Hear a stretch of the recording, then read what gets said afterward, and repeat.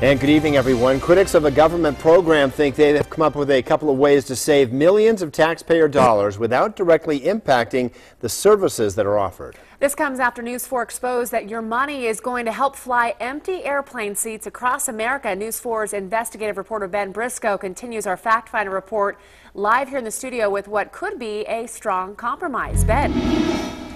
The 40-year-old Essential Air Services program's goal is to create jobs and provide a transportation lifeline to otherwise isolated rural communities.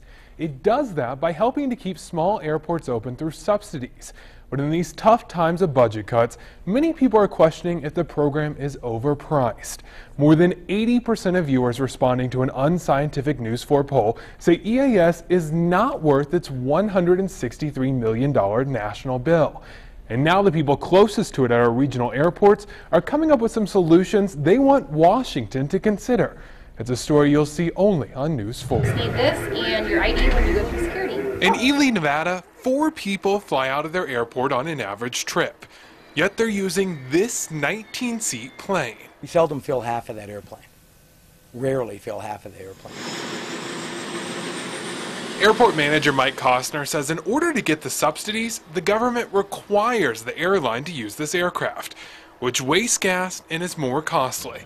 He thinks that should change. It would not be the airplane of choice. Program hasn't had much scrutiny or revision over its life. And while Ely only has one flight daily, other EAS airports offer multiple flights. Merced, California has four out a day, which have never been all full. And that's another place to possibly cut. One of many, according to Merced Airport Director Ron Elliott. Yeah, I'm sure there's room, in, like any government program, for cuts and, and improvement. It's Ben Briscoe from Reno again. I'm just calling to see if someone's going to talk with us News 4 tried repeatedly since last week to talk to the Department of Transportation about why these requirements are in place. But we were told the topic was too sensitive for an on camera conversation, and they'd prefer to just give us background information. And after more than a week of requesting an interview with Senator Harry Reid, a spokesperson sent News 4 this written statement from the senator, reading, I'm working closely with the Secretary of Transportation as they conduct the review of communities eligible for essential air service. I'm hopeful we'll find the right balance.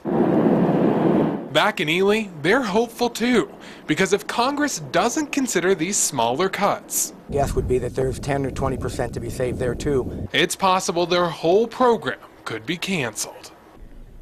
And we have been told that these ideas and a few others are currently being floated around the Appropriations Committee.